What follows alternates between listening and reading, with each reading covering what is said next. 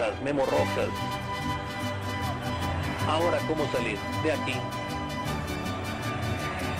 Miguel Ángel Martínez. Y viene aquí el chileno. Tocando bien. ¡Gol! ¡De Jaguares!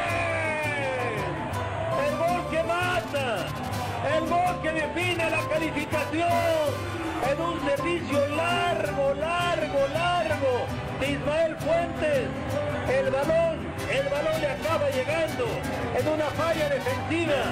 Antonio Pedrosa, segundo gol en la Copa Santander Libertadores. Gol de Jaguares. ¿Y sabes qué, Santiago?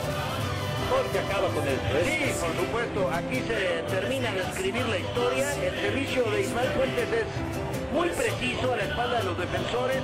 La velocidad de Pedrosa y esa intuición de delantero que entrando al área sabe que tiene que patear cruzado, le pega fuerte abajo de pierna derecha y toma en el camino a Lipman, le pega por abajo cruzado y le hace el gol.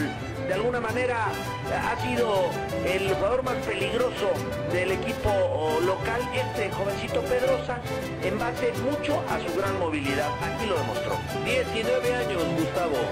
19 años, Tony Pedrosa. Fue muy paciente el Jaguar. No había el segundo, buscando el segundo,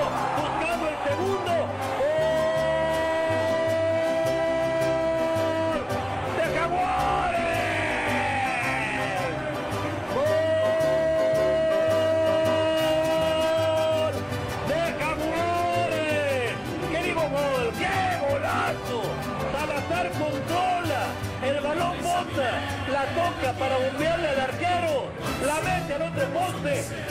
Excelente gol Santiago Puente. Excelente, es un trazo largo nuevamente, toma a la defensa en línea y cuando aguanta la embestida del defensor cubriendo la pelota, se la adelanta con el muslo derecho y después de que bota busca el segundo palo y lo hace preciso.